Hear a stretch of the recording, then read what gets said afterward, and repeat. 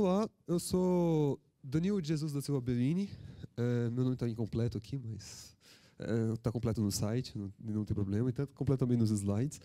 Uh, eu vou apresentar sobre compatibilidade entre Python 2 e 3, por conta de uma história minha, usando o pacote AudioLazy, é, eu queria torná-lo compatível com Python 3 e foi um código escrito originalmente em Python 2 e eu queria que o mesmo código funcionasse em ambas as versões, ou seja, um código compatível com ambas as versões. E por que isso? É, primeiro que as versões futuras do Python vão seguir a versão 3, não vão seguir a versão 2. Se você está usando o código na versão 2, é bom, em algum instante, pensar em fazer a migração para utilizar o Python 3.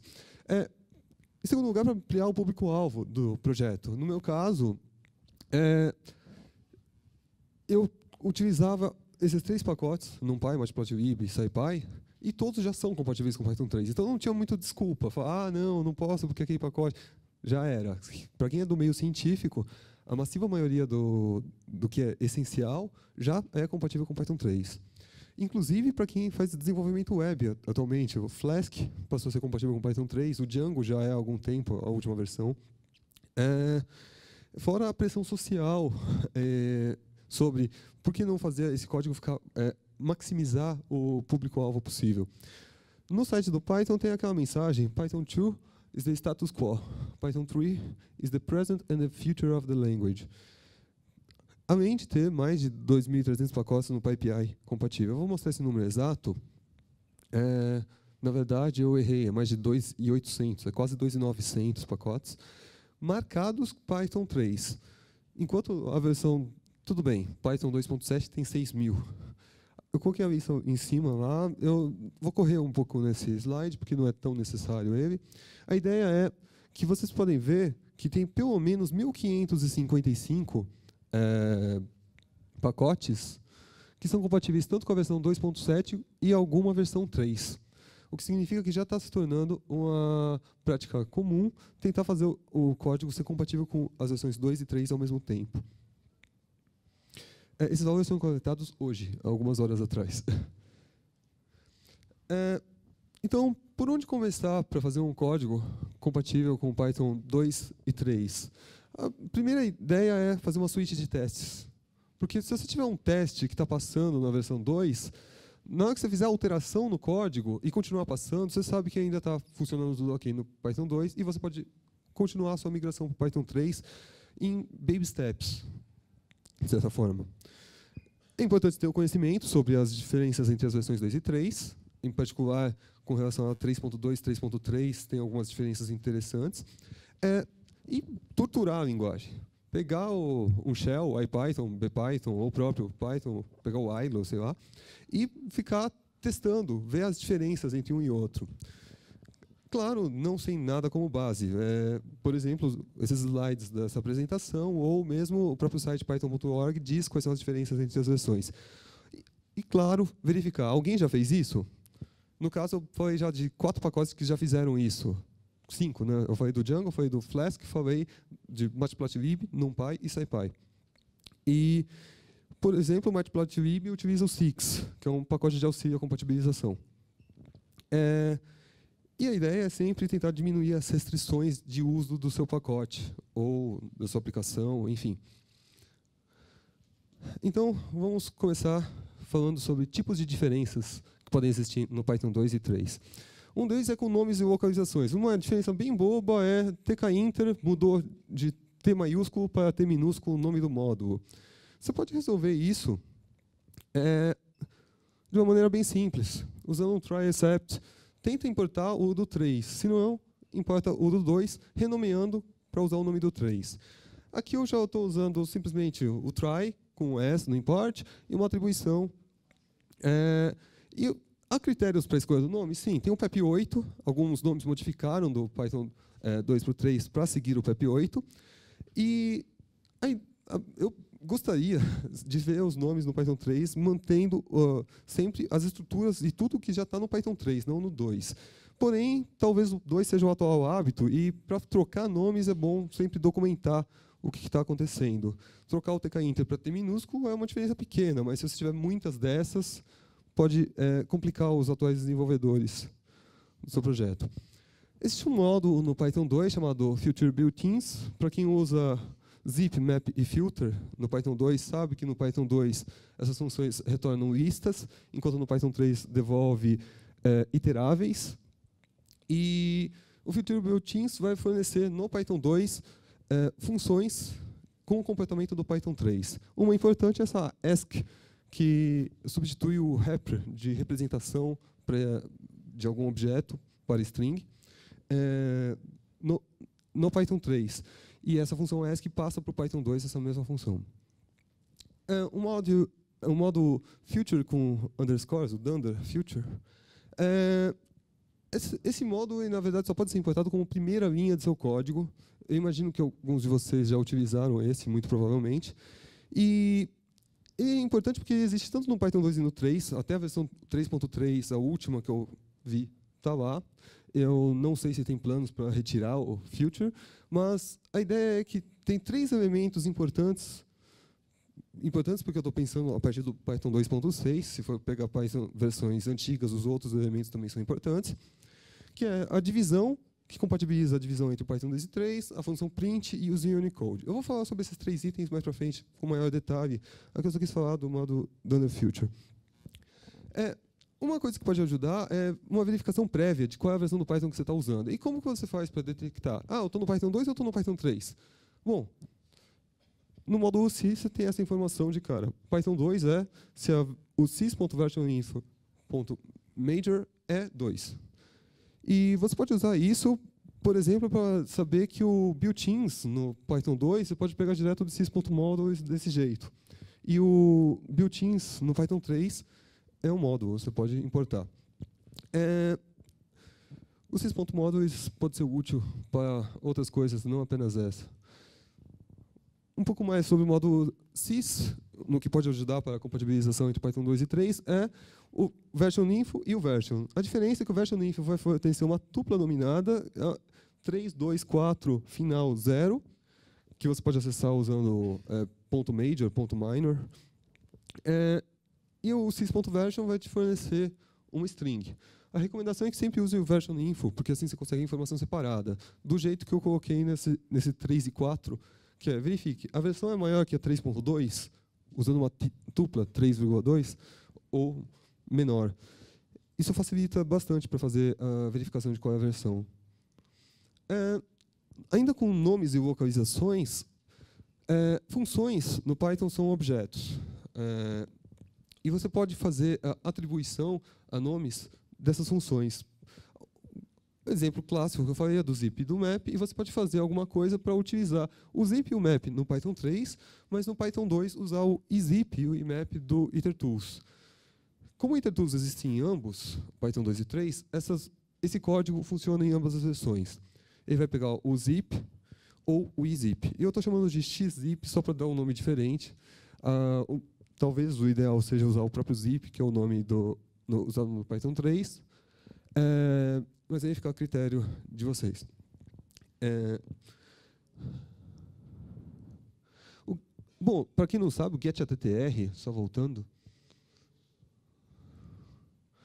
O getAttr é para pegar um atributo, seria itertools.izip, só que passar esse atributo como um nome.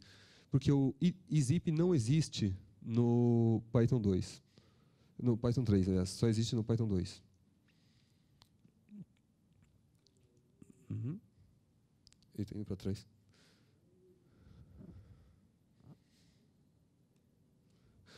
Uh, monkey patching. Uma coisa que pode acontecer é você precisar, por exemplo, de operator.div. Isso só existe no Python 2, porque o div foi substituído no Python 3 para o trueDiv, é, por padrão, é a ideia do import division. E o que significa o trueDiv e o div? É que o div vai devolver, na divisão entre inteiros, o inteiro, e o trueDiv vai devolver um ponto flutuante. E esse operador foi re realmente removido no Python 3. E se você for tentar usar isso, uma recomendação é, no modo operator, aplique esse monkey patch. Você insere o ponto .div no modo operator e pode usar como true div.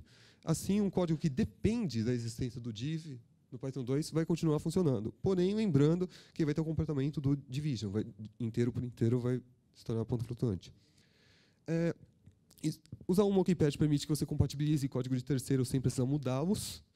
Claro, é recomendado que você faça um pull request, caso esteja usando um, um componente de terceiros e com alteração, tornando compatível o código desse terceiro. Mas nem sempre isso é possível, mesmo porque tipos básicos não vão permitir fazer alterações. E eu já dou um exemplo de onde não dá para fazer a compatibilização, exceto se você fizer uma função para isso. O método toBytes do inteiro só existe no Python 3, que é uma conversão, que era o 317.215 convertido em 5 bytes em Big Engine. Ele fornece isso. Esse método não existe no Python 2. Enfim, uma, existe uma que grande de coisas que não existem no Python 2 e no Python 3. Todas elas teriam de ser reconstruídas para poder funcionar no Python 2. Por exemplo, IterTools tem um accumulate. Eu criei uma na AudioLazy simplesmente para poder manter o IterTools é, a AudioWays contém um IterTools à parte, com a mesma função. Uh, essa reconstrução do exemplo é a função range, que é a range do Python 3 vai fornecer um iterável mais ou menos que nem o xrange do Python 2, enquanto o Python 2 tem um range que devolve uma vista.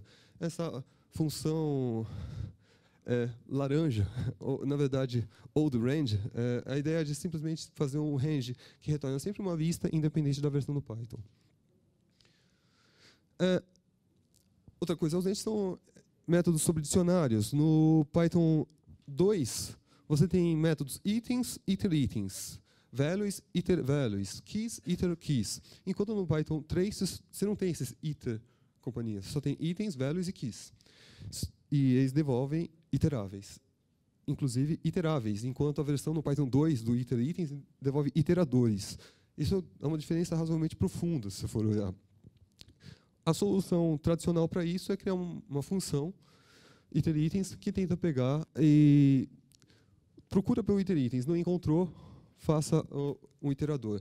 Melhor ainda do que essa função é fazer a função devolver sempre o resultado já esperado, não precisar é, re realizar esse try a cada vez que você chama a função. String inteiro no Python 3 teve uma profunda diferença, principalmente no string. Digamos que o, a, o uso de Unicode generalizado no Python 3 é uma das diferenças que mais causam dor, dor de cabeça para a compatibilização. É, mas aqui pensando que você só quer usar no isInstance, quer verificar isso é uma string, você teria de usar isto no Python 2 e aquilo no Python 3. Python 3 só tem o str, enquanto no Python 2 você tem Unicode e o str, ambos herdando de base string no built-in.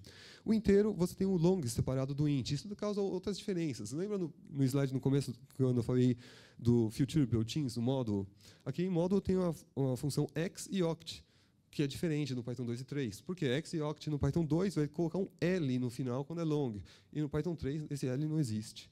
É um detalhe, mas que pode fazer diferença. Pode quebrar seu código de uma maneira muito inesperada. Uh, algumas internalidades, o método next para iteradores, geradores no Python 2, é, você chama o método de next, enquanto no Python 3 virou o dunder next. É, você pode colocar do, os dois, no caso de fazer um código compatível, ou fazer uma verificação para trocar, depois da construção da classe. Uh, a mesma coisa para avaliação, conversão para booleano, no Python 3 é o Thunderball, enquanto antes era um non-zero.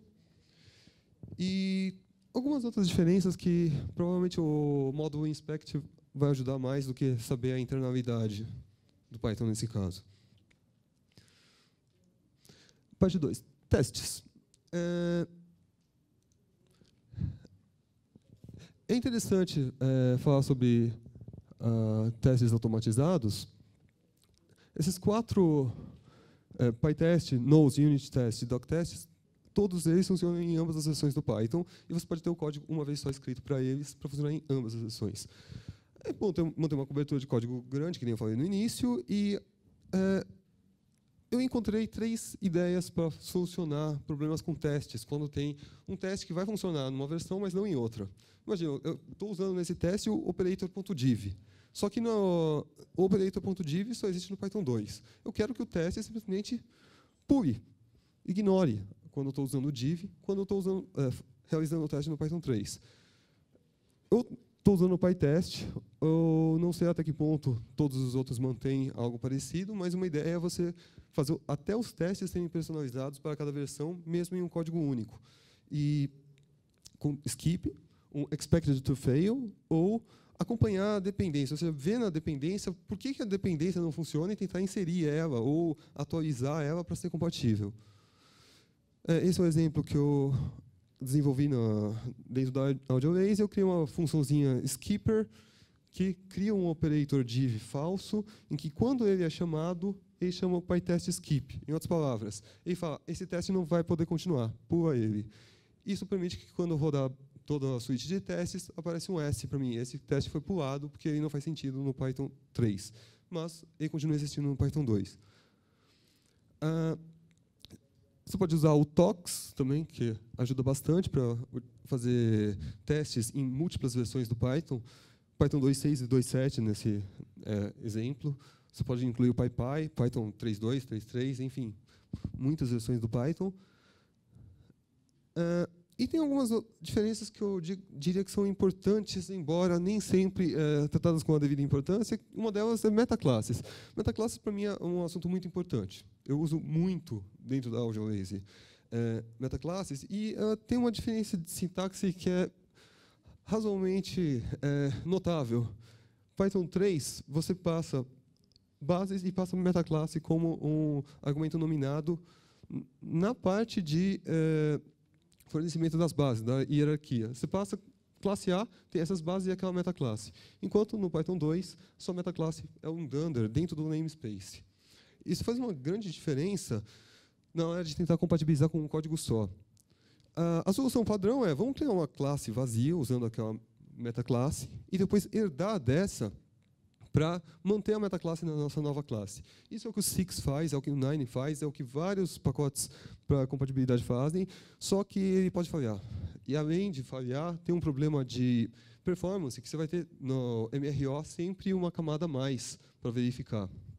A camada, exatamente, dessa é, classe extra que foi criada vazia. Ah, a solução é, alternativa é fazer uma metaclasse falsa, não uma classe falsa e manter, mas sim uma metaclasse falsa em que ela não será utilizada posteriormente. Isso é o que a função AudioLazy Meta faz. Eu tinha como objetivo, isso daqui foi um teste que eu escrevi, eu queria que isso funcionasse desse jeito, no, no, tanto no Python 2 e no 3. É uma metaclasse é, em que ela verifica se o namespace tem algum, alguma coisa. Se não tiver, ele não deixa criar essa classe. Ou seja, é, quando eu estou perguntando se o namespace tem alguma coisa, eu estou imitando quais são as classes que podem usar, é, podem ter essa metaclasse como metaclasse. Uh, em particular, aquela solução de criar uma classe vazia quebra sempre, porque o bad não vai existir. Você está criando uma classe vazia. E esse foi o meu problema com o AudioBase. Eu falei, eu preciso fazer com que esse teste funcione. E o que eu quis nesse teste? Manter uma sintaxe parecida com Python 3. Eu passo as bases e a metaclasse como um argumento nominado dentro da definição da classe, é, ao invés do namespace. E exatamente isso que está na AudioLazy. Eu coloco até o código, eu só realinhei e tirei o docstring, que tem exatamente o que eu acabei de mostrar como exemplo. E ela se baseia em duas etapas. Primeiro, eu crio uma classe com metaclasse fake. Para quê? É, eu, se eu voltar no slide anterior, vocês vão ver que uh,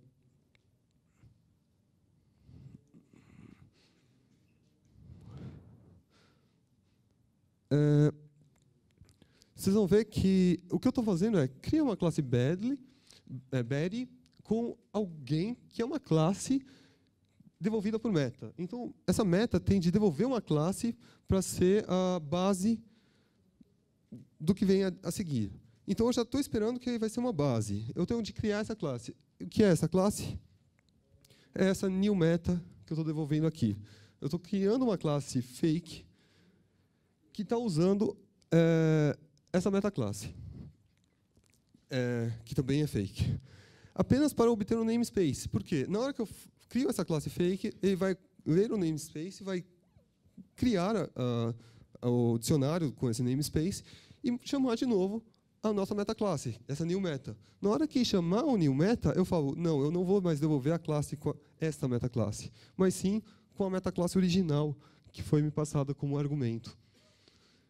Em outras palavras, é um nó, mas que evita aquele uh, etapa adicional de uh, uma classe que fica o tempo todo lá atrapalhando no MRO e evita o problema de quando você tem uma uh, restrição para o uso da metaclasse, em que não existe mais a classe fake armazenada. Essa classe fake está super controlada, ela está aqui, ela não está usando nada além de type. Ou seja, ela não depende do fato de que você tem uma restrição para o uso da metaclasse e funciona em ambas as versões, Python 2 e 3. É o que a AudioLaser utiliza atualmente. Uh, algumas outras diferenças, talvez mais simples, o print mudou no Python 3, agora é o, o print é uma função, não mais um statement. E fornecimento de arquivo tem uma nova sintaxe, é, quer usar um separador como espaço, que é o padrão, é aquilo lá. Se quiser mudar, é só mudar o CEP. Enquanto aqui, é, você... Uh, o que eu ia falar? Não, é, a vírgula, é verdade. O final você pode mudar com o KWR end, enquanto essa vírgula aqui nesse último significa não, imprim, é, não imprimir o enter depois. Mas é, elas não são tão, tão iguais assim, elas são somente parecidas. Se você quiser fazer algumas coisas mais profundas usando print, na verdade a recomendação é que você não use print, você use o modo login. É, Para usar uh, uma solução parcial que funciona em ambas as versões, você pode chamar esse filter import que vai ter o, o, a função py, uh, print, print no Python 2 também.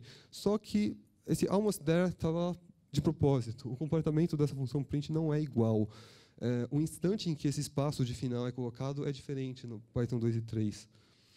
Uh, Unicode, Unicode igual a dor de cabeça, é porque agora as, os nomes de variável estão em Unicode no Python 3. Você pode chamar ccdiv igual a 3 e fazer suas contas com ccdiv. Você pode colocar acentuações, você pode escrever em katakara, hiragana, e, e enfim. É, eu não fiz isso como algo ruim. Uh, muitas vezes você escreve o seu nome da variável em português, e agora você vai poder pôr o acento nisso. É, mas talvez seja ruim, enfim, eu não sei. É, tentem me convencer depois. Uh, Todos os arquivos Python agora estão em UTF-8, então a ideia para compatibilidade é sempre mantenha esse code em UTF-8 no Python 2, que vai tornar compatível com ambas as versões ao mesmo tempo. É, e pensar no, uh, no Unicode do Python como um objeto. Isso daqui é simplesmente uma dica sobre o uso do Unicode, que na verdade deveria ser algo que todo mundo já deveria dominar, segundo o Joel.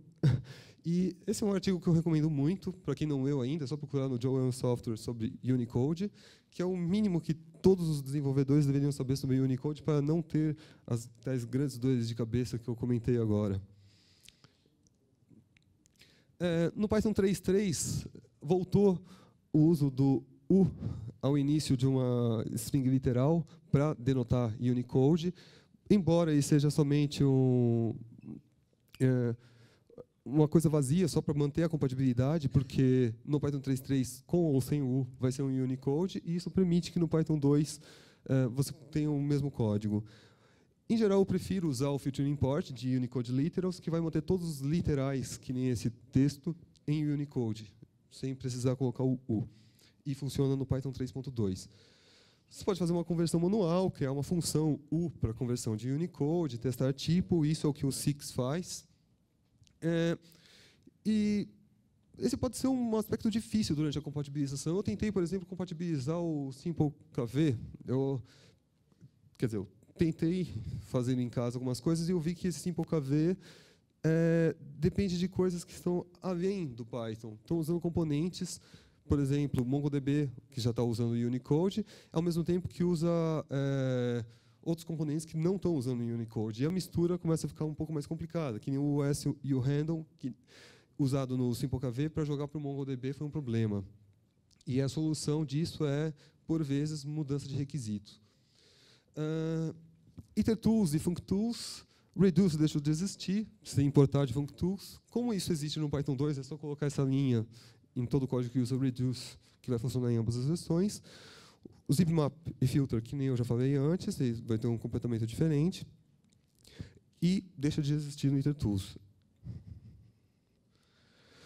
Divisão. Divisão no Python 2 sem o import division é, retorna um inteiro, sempre truncado para baixo, então 0.9 manda para o zero, menos 0.9 vai ser menos 1. É, e no Python 3 ele vai devolver um, um, ponto flutuante, já convertendo. Se você quer manter o comportamento de devolver sempre o inteiro, use duas barras. Inteiro por inteiro, com duas barras, tem o mesmo comportamento no Python 2 e 3. E ou seja, minha sugestão é sempre utilizem esse from future import division e quando precisar uma divisão por inteiro, é, inteiro por inteiro truncada, use duas barras ou alguma função de arredondamento.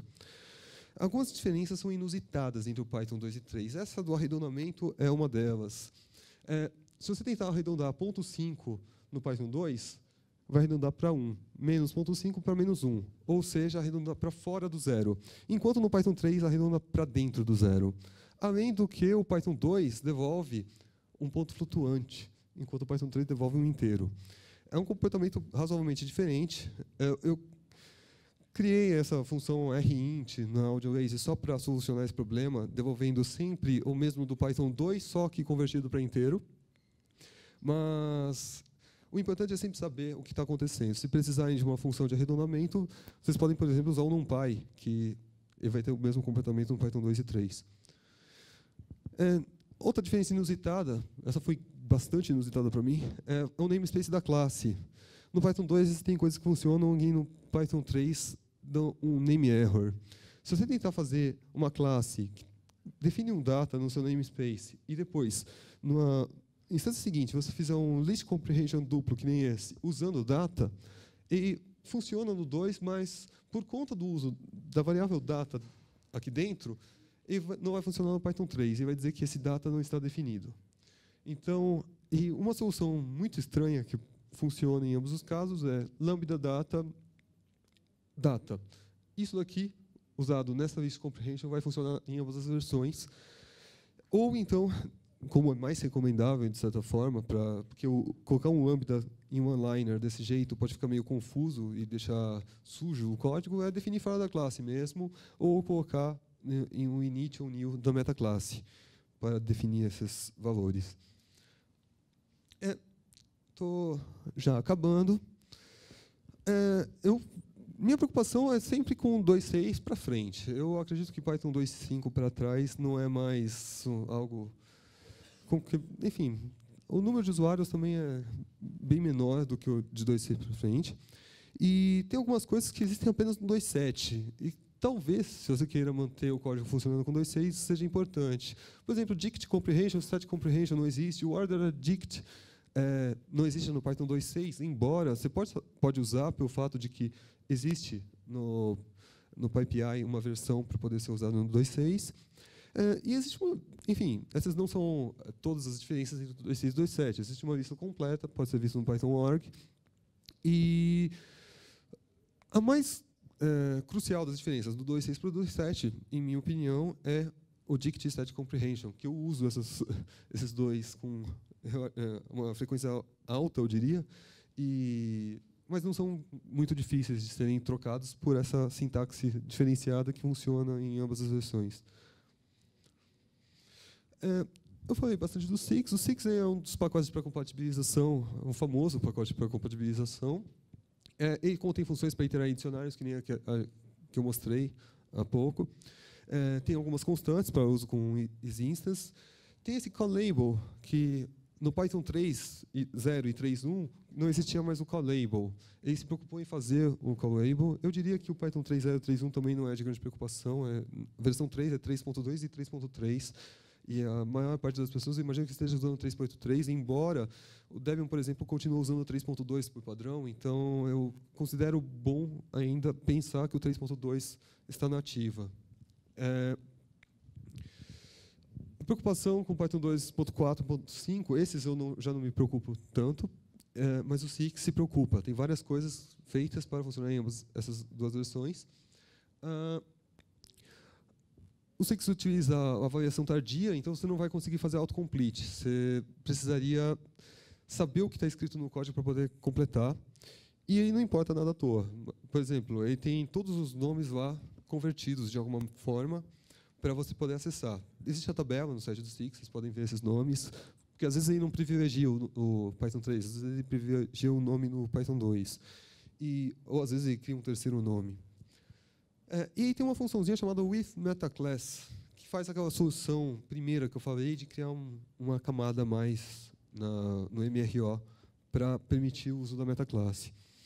Uh, eu criei a AudioLazy.meta não porque eu queria crucificar o Six ou coisa assim, uh, mas sim porque o, essa função with metaclass quebrou o código completamente da AudioLazy, já que ela dependia de elementos do namespace da classe o qual a mudança no MRO era significativa para mim. Um outro que eu descobri recentemente é esse Nine.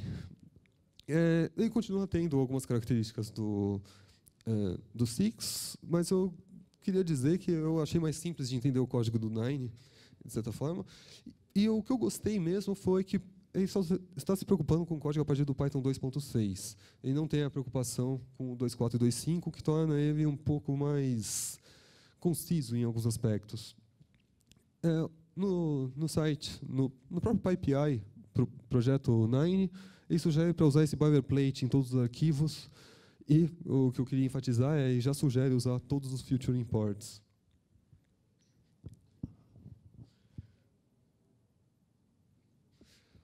Bom, você tem eh, ainda alternativas à compatibilização. Não é necessário fazer o código ser único e funcionar em ambas as versões. Existem coisas que nem dá para fazer seu código único. Se você usar annotations no Python 3, você não vai passar para o Python 2. Isso não existe, vai dar erro de sintaxe. É, mas existe, por exemplo, conversão automática usando o 2 to 3, 3 to 2. É, usando o distribute, ele tem como ser configurado, precisa, enfim, é, ter a documentação dizendo como fazer isso para converter automaticamente seu pacote escrito em uma das versões para outra quando for requisitado isso. Você pode converter, converter manual, fazer duas branches e continuar em paralelo. Alguns projetos fizeram isso, isso me parece complicado, é, mas é uma solução. O difícil provavelmente são os merges, mas enfim. É, ou manter a incompatibilidade lá, só que manter o seu código é, restrito apenas parcialmente. Ah, esse trecho de código só vai funcionar no Python 2, então bota import lá dentro da função, do método, para quem quiser usar todo o restante, menos essa função, o método consiga usar mesmo em outra versão do Python. É, talvez seja a solução mais suja, mas pode ajudar muita gente. É, eu, particularmente, faço isso com a AudioLazy, em que eu eu dependo da NumPy para algumas coisas, só que a, o grosso do, da AudioLazy não depende da, do NumPy. Então eu coloco o import NumPy lá dentro. Não é uma questão de compatibilização entre Python 2 e 3, mas poderia ser. Eu poderia estar usando aquele 2 bytes do int, e, que não existe no Python 2. Aí, somente onde eu estiver usando que vai dar problema. E eu nem preciso me preocupar com o import para esse exemplo particular que eu passei. E, bom, é isso. Esses são os elementos que eu construí na AudioWaze para permitir a compatibilidade. São menores do que o 9 e o 6. Talvez sejam úteis para vocês. Eu acredito que o Meta seja o mais útil de todos. Todos os outros têm ou equivalente no 9 ou no 6, ou é muito fácil também de fazer. O código da AudioWaze está no GitHub, quem quiser ver. E é isso. O objetivo era falar sobre compatibilidade com, entre Python 2 e 3. E Quer saber perguntas, dúvidas?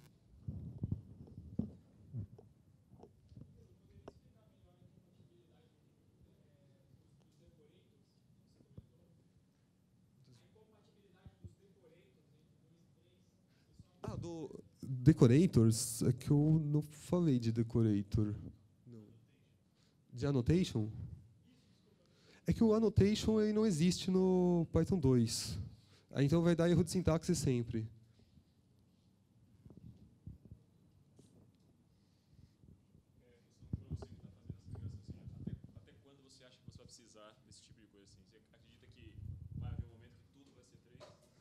Eu acredito que sim. Eu acredito que em algum instante tudo será feito no Python 3. É, se não for diretamente, vai, utilizar, por exemplo, 2 to 3 para converter o que faltar. E por mais que eu não, não veja assim um prazo para dizer, ah, a partir daqui o Python 2 vai morrer, eu tenho as minhas dúvidas se isso vai ser rápido, mas vejo que as coisas estão crescendo, particularmente é, em um dos slides aqui eu falei, eu mostrei esses números, eu acho que eu apertei F5. É, há 2.897 marcados é, no PyPI com pacotes com compatibilidade com Python 3. Não necessariamente também com Python 2. Os, com, uh, ambas são aqui embaixo. Esqueceu dois. Exato. Ah, eu vejo isso sim como o futuro, mas não o futuro próximo não. Isso vai demorar um pouquinho. É, talvez não tão pouquinho assim. É, mas talvez eu não seja a pessoa certa para responder isso. Eu sei que o Python 2.7 não foi abandonado, eles continuam mexendo. Saiu o 2.7.5 não faz tanto tempo, que a atualização do 2.7. Embora, é, até onde sei, não há plano nenhum para que haja um 2.8. Vai continuar somente o 3.3 para a versão 3.4. É, mais alguma pergunta?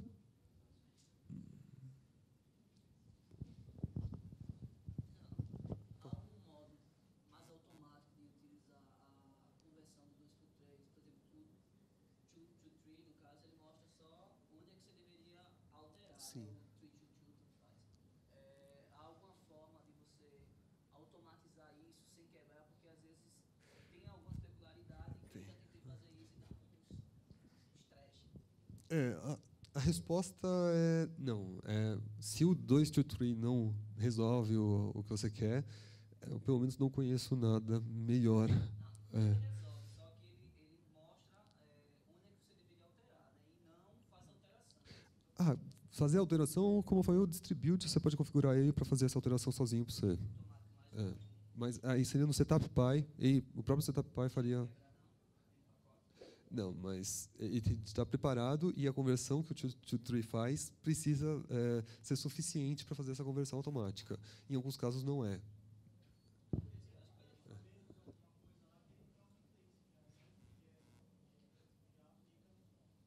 Eu não ouvi.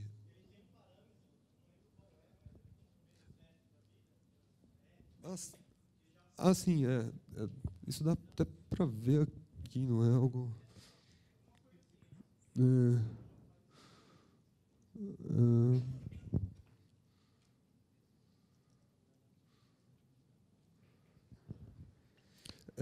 É, menos F. É isso?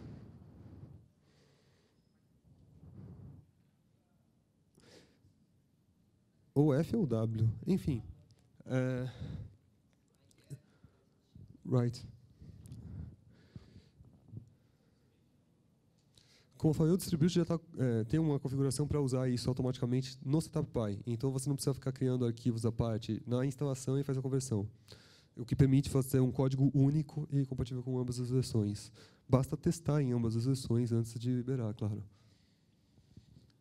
É, mais alguma pergunta? Acho que a gente ainda tem uns três minutos.